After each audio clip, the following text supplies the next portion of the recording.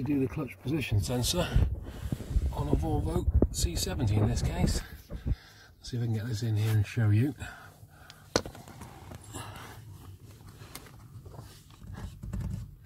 There's the clutch pedal. A spring coming down off the back of it.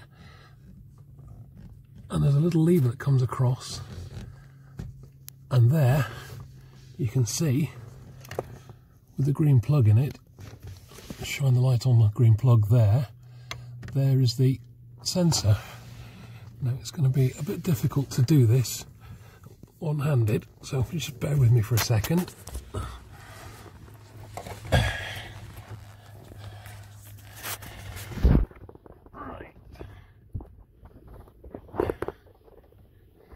As you can see, it's got the plug on it.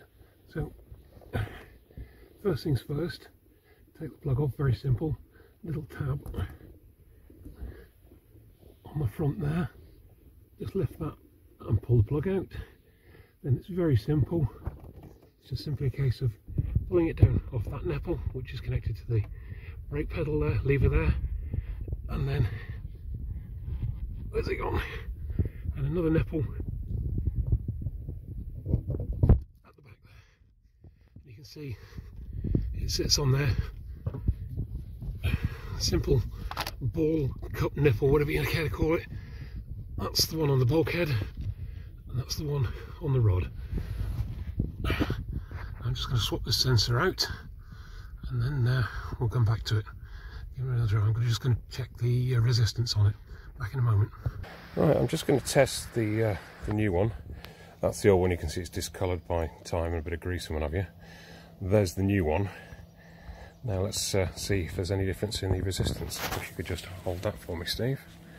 Like that. This is the new one I'm going to test now.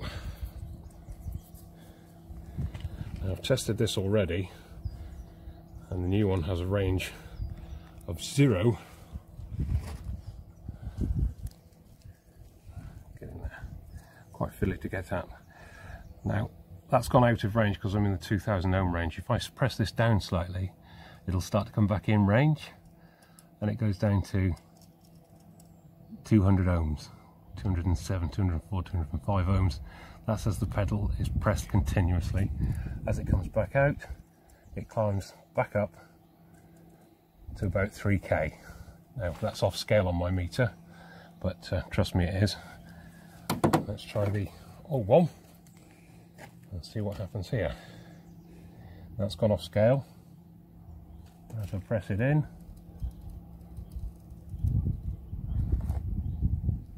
That's gone to about 420 so yeah so it's showing about 400 ohms. It's about twice what it should be. So I'm hoping in a second I can put this one on and it'll make a difference. We'll go from there. Thank you very much for a moment. Back in a second. Right here we go again the problem I've got is getting under here. It's not as easy for an old man like me. So get ourselves to the back here. And again, you can see the little nipple at the back there. Let's just pop this onto there.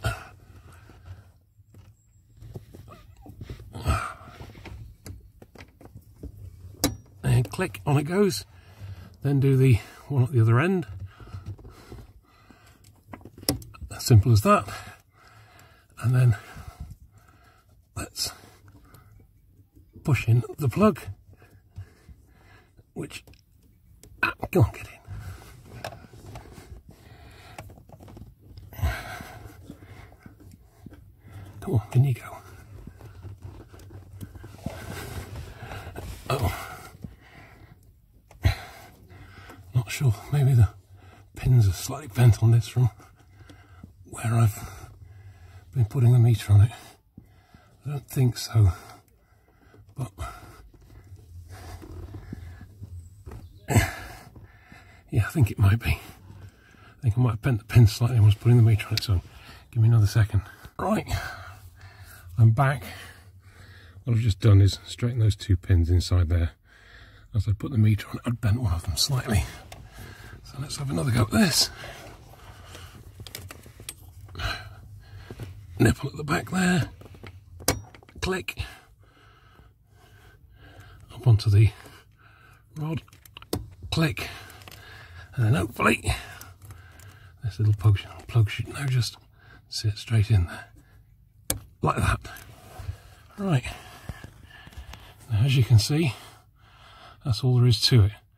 Now, I believe these are the same for, this is a C70, and the part number on this I'll give you in a second, but um, put this part number into places like eBay and what have you, and it says it's not compatible with your C70. Well, it is, there it is. It's also compatible with sort of V50s, V70s, in fact, most of the Volvo range, I think. Obviously, it's worth checking before uh, you do it yourself, though. Anyway, let's go and have a quick look, and I'll just give you the part number on this one as well. All right, here we go. 9472979. That's the part number, which is also, I forget where it is on this. I think it's just there. It's probably quite difficult to see. But it does actually say, yeah, I can just about see it there, 9472979. It is it's definitely the right part. So don't worry about ordering it and then uh, having it not fit. Yeah, okay, there we go. Cleared the OBD code. It's all gone. Um, I'll put a still of it on this video to show you what it is. And uh, that's what killed it. It's only 200 ohms out on the bottom of the scale, but that's enough to fool the uh, ECU into thinking that uh, it's broken. All I've got to do is put the cover back on, get under the pedals, and that's going to take me longer than it did to change the clutch position sensor. Hope you find this helpful. Thanks then, bye.